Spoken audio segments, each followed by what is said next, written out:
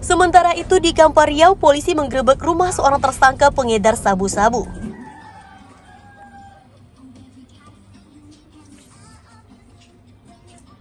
Tersangka berinisial AS ditangkap saat sedang tidur di ruang tamu rumahnya di Desa Batu Belang, Kampar.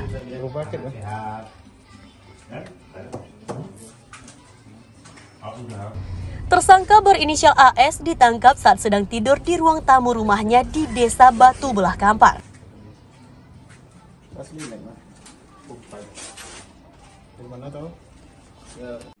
Polisi menemukan 12 paket sabu-sabu siap edar seberat 1,93 gram yang disembunyikan dalam lemari.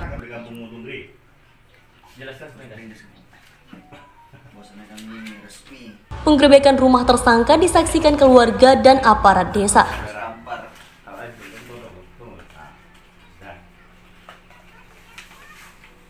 Penggerebekan dilakukan petugas menyusul laporan masyarakat yang resah dengan maraknya peredaran narkoba di wilayah mereka.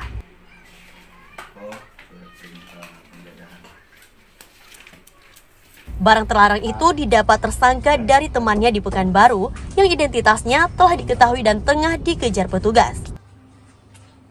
Ya, kita telah mengamankan pelaku tindak pidana narkotika jenis sabu di Kecamatan Kampar inisial AS.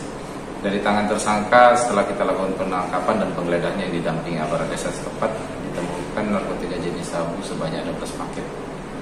Kemudian terhadap tersangka kita amankan ke Polres Kampar guna proses penyidikan lebih lanjut.